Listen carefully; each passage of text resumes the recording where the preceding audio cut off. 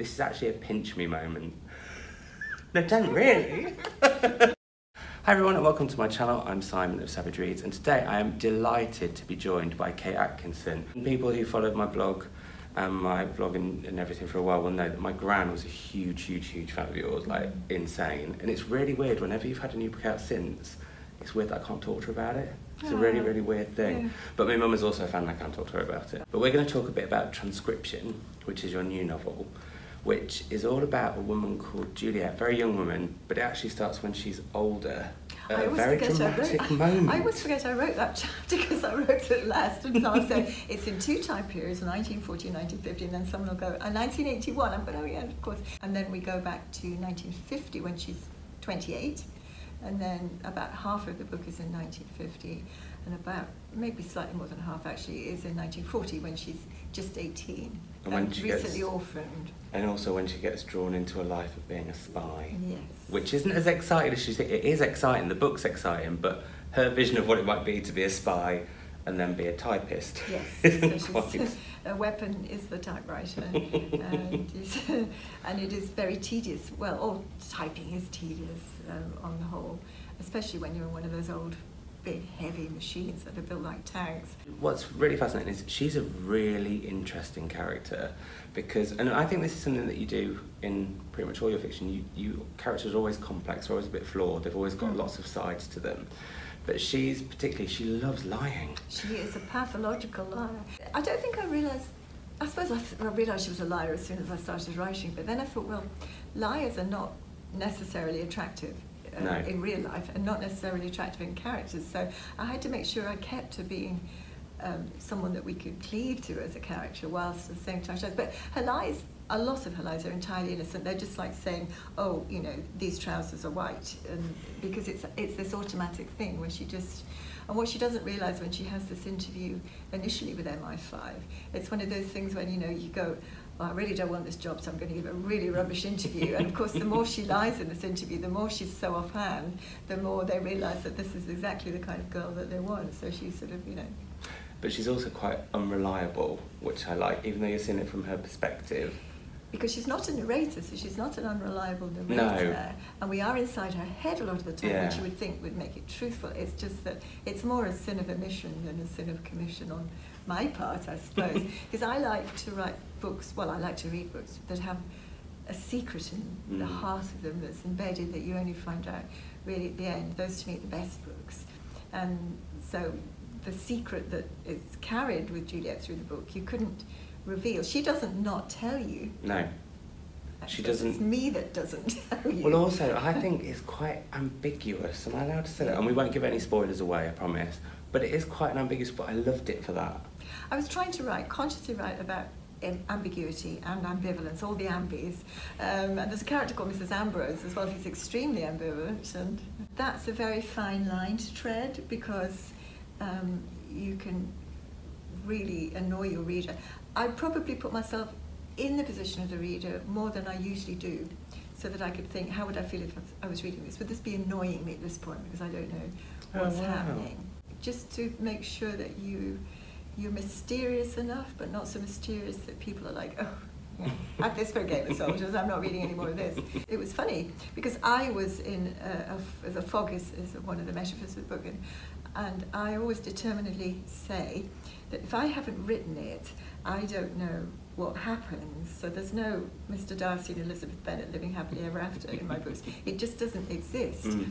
And I actually kept a lot of things back from myself. So there was, I, I'd got to the end and I thought, I don't really know who was who. I just didn't want to pin everything down and say, oh, well, he did this and she did this. And, you know, it was just like, I wanted the atmosphere at the end of the book for everyone, including me, to think, well, what, what did they do? Who Mm. were they? Whose side were they on? Book groups are going to love that.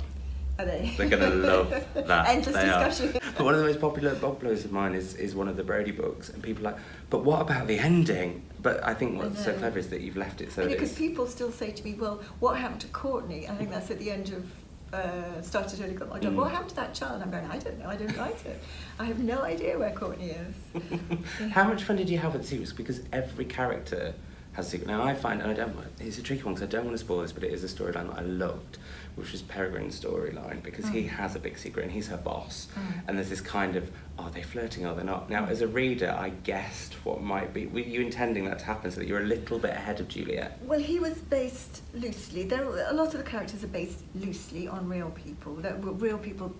The stories of the real people set me off on Mm. this book, and he owes something to the ghost of Maxwell Knight, Right. and she owes something to the ghost of Joan Miller. Joan Miller has a, a very short autobiography, which I think she's trying to extract some vengeance and possibly and she's not she's not the most reliable of narrators I don't think but she was recruited Max Maxwell Knight was head of the counter subversion unit and after the war he worked for the BBC as Uncle Max doing nature programs for the children children's television How random. The BBC and spies are Ah, linked. they certainly are. Joan Miller had that relationship with Maxwell Knight. She lived with him. They lived together in Dolphin Square, and she ran a country house for him. And she shared a bed with him, as far as I can tell, uh, and was utterly mystified.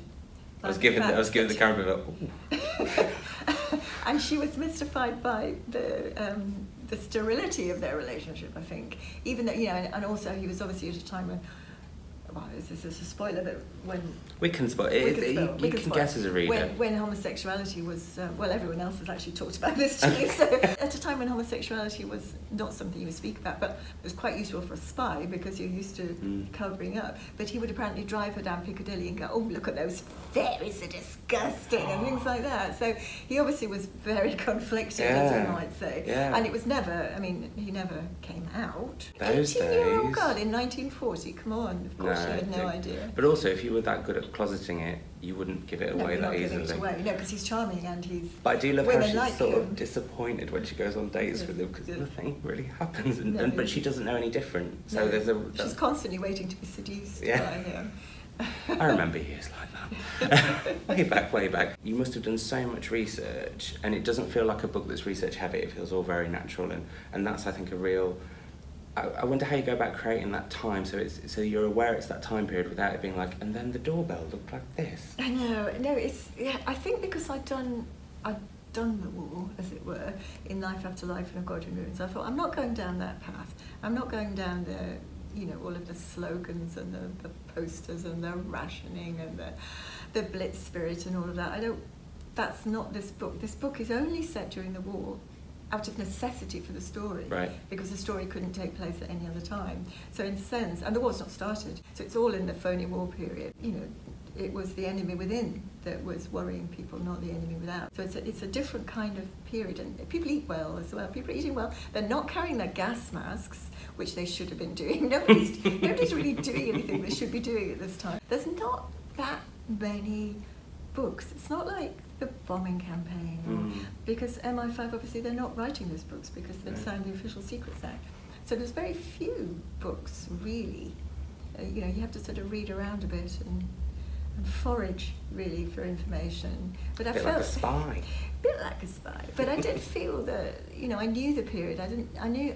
I now know. I feel probably completely wrongly. I know how people spoke. I know how they wouldn't speak. I know how they behaved. I, I felt very confident not having to do any of that because I'd done it, Mm. and so I could just concentrate on this particular story. And then obviously there's a flamingo involved, but we won't say how, which is why we've got the Audubon flamingo The behind us, which flamingo. never comes out very No, often. and to twist his neck to fit that page. Yeah, we don't like to say what Audubon did to those birds. One thing that I thought was interesting that you do in all your fiction, I think, is you use humour really. It's quite wry, it's quite Mm. dark. What is it about that that you enjoy? Because I love it as a reader. Like I'll cackle at something and then be absolutely shocked by something. is that is it that extreme or using it for that way? Good, I like that reaction. I, I don't consciously put humour in. People ask me this question a lot, like, how do you how do you put humour into it? I think I don't know because I think if you put humour into something, it's unnatural. Right. So it's arising always out of the situation, and that that play of dark and light, I think, is is in all of my novels. But I can't write without it. I can start trying to write without it, and it and it doesn't it doesn't work. I mean, I've just finished another book, and it's um. Oh, you throw that one in very delicately. I've just done another one. just finished another one, and it's the very dark subject matter, and it's the funniest book I've ever read, and I feel almost guilty because it's like really it shouldn't be this funny, but it is very black, and I think that's that's you know a lot of people want to look, maybe people who don't necessarily look at the world like that, I think can get a certain relief from reading Mm. something that just says it's okay. You know, you can laugh at, you can laugh. I think, but Well, humour is a curious thing. Well, know. when sometimes when you're grieving, that's when you'll laugh hysterically. yeah, oh, funerals. Some funerals Yeah. are just like a riot of people laughing. So I've got some questions from some of my viewers. Oh, right. So, getting higgy with it, hooker with it, or even, was transcription in your mind during Life After Life? Because there's lots of spying mentions then. no, God in Ruins was the book I was thinking about when I was writing Life After Life. Really? because there were always going to be two books. Oh, wow. So there were, I, I, even when I first began Life After Life, I knew that Teddy had his own book. And when I was writing God in Ruins, I was thinking about transcription because that was, I always think about the book ahead. Ah, okay, that's interesting. And do they kind of reflect? Because actually, one other question from DoJane292 was These like the foreshadowing from uh, behind the scenes at the museum. When you wrote that, did you have these later books in mind, or is that just the way that you? Is that the stuff that interests you? No, I didn't have any of those books in mind. I didn't used to have so many books in my head. That's a good sign. That means there's loads to come. Oh, there are. I could, I've got about five that I Wow. could, yeah, that I could easily talk about, but that would just confuse everybody. um, because I think, I, I do think unconsciously about those books. uh, Really unconsciously. I'm not like sitting here thinking, oh, and then that book, that's going to happen, that's going to It's not like that at all. It's just because it's there and because it's got a title, and the next one's there and it's got a title. So you've got titles them already? I can't think without a title. Really? Yeah, no, no. Oh wow. No. Gosh. Okay, so they weren't there then, but now this is the question that I got most asked, and it's probably the question you get asked Is all going the to be time. another Jackson uh, Brodie? Yes. How do I know that? yes, and indeed the book I've just finished is a Jackson So that will be- That will be this time next year, yes. Wow. Oh, people are going to love that. I didn't know he was so popular. Oh, his appeal is, I think, male, female, whatever, you love him. Oh, I, I think he's a bit of a pain in the neck, personally. He's not your Poirot, is he? I think I feel very comfortable right in his skin, Yeah. writing in him. So, so therefore, I don't particularly. To me, he's not this character. To me, he's just this. I know exactly he's a bit of a grumpy middle-aged man, and I know just what he's thinking. So it's a different relation. I have a different relationship with Jackson that other people do. Well, I have one that I would really love, personally, I'm just going to say this while you're Mm, here. I would love Sylvia's book. I yes, I, I understand that, and I have thought Um, about writing yes. Sylvia's book. I, just, I feel she's, every time she's in the book, she's got so much She's about great. her. I, I really like her. Um, I would like to write the Shawcrosses book, Next Door, The Next Door Neighbours. Not Ah. the girls, because they appear a lot in Life After Life, but Mrs. Shawcross. I think Mrs. Shawcross has an interesting story. So she could, Sylvie could appear in that book. Okay, that's just a personal request. No, no, a lot of people, a lot of people say they'd like Sylvie's book. So but do you find that that's quite tricky if people really, really love a, a character? Is it quite difficult to then be like, well, actually, I don't want to go back there? It's a, well, I, I don't go back much, but then the next Jackson, which we're not talking about, um, Reggie and Tatiana come back. Right. So, and Reggie's a hugely popular character, but she's all grown up now. But I think that's it's it's fun to bring characters back, and I would bring a lot more characters back if it suited what I was doing. And I would write Fox Corner every day. I mean, I would just do the Fox Corner soap, basically. Maybe that could happen. I would love that to happen. We're putting that out there. We would like that to happen. Because we'd all love to live in Fox Corner. Yeah, I think everybody would love to live there. Do you feel when you get to the end of the book, you know that you're done, and then you Well, I know what I know where I no one want to see my hand there. It's like that. It's gone. I, w- I know where I want to be. I know the title, I know the beginning, and I know where I want to be at the end. It doesn't mean I necessarily know the exact lines, Mm. but I know how I want to feel, how I want people to feel, how I want the book to feel.